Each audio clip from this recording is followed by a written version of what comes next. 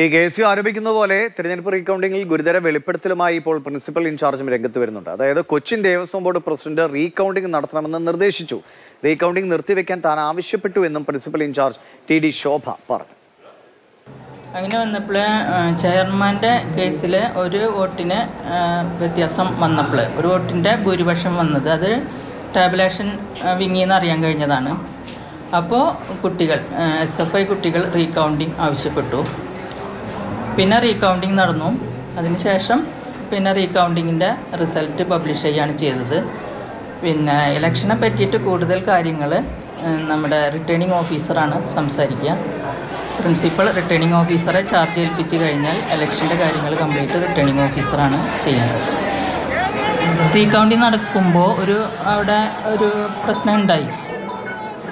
തർക്കം ഉണ്ടായപ്പോൾ ഒന്ന് നിർത്തിവെക്കാൻ പറഞ്ഞിരുന്നു. നിർത്തിവെക്കാൻ പറഞ്ഞു നമ്മളത് കുറച്ച് നേരം അതിനെപ്പറ്റി ഡിസ്കസ് ചെയ്തു. അപ്പോഴേക്കും കൊച്ചിൻ ദേവസ്വം ബോർഡ് പ്രസിഡന്റ് പറഞ്ഞത് നിർത്തി വയ്ക്കേണ്ട ആവശ്യമില്ല. കണ്ടിന്യൂ ചെയ്തോട്ടെ എന്ന് പറഞ്ഞു. അപ്പോൾ കണ്ടിന്യൂ ചെയ്യുമ്പോൾ പിന്നെ നമ്മുടെ മാനേജർ പറഞ്ഞാൽ പിന്നെ നമുക്ക് അതനുസരിക്കാനേ നിവൃത്തിയുള്ളൂ. അപ്പോൾ പിന്നെ ബോർഡ് പ്രസിഡന്റ് ആണ് പറഞ്ഞത് നിർത്തി വെക്കേണ്ടതില്ലെന്ന് നിങ്ങളോട് എങ്ങനെയാ പറഞ്ഞത്.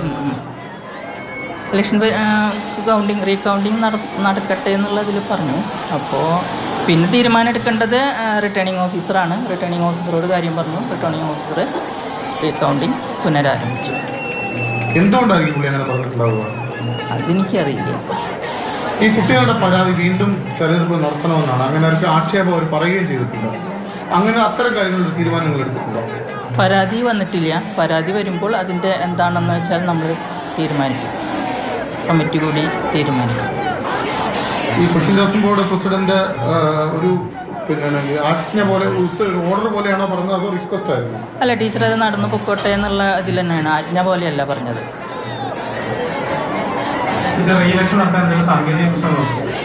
ഇത് എലക്ഷനെ പറ്റി നമ്മൾ ആലോചിച്ചിട്ടില്ല. അതിനെപ്പറ്റി ആരും എന്നോട് ഒന്നും പറഞ്ഞിട്ടില്ല.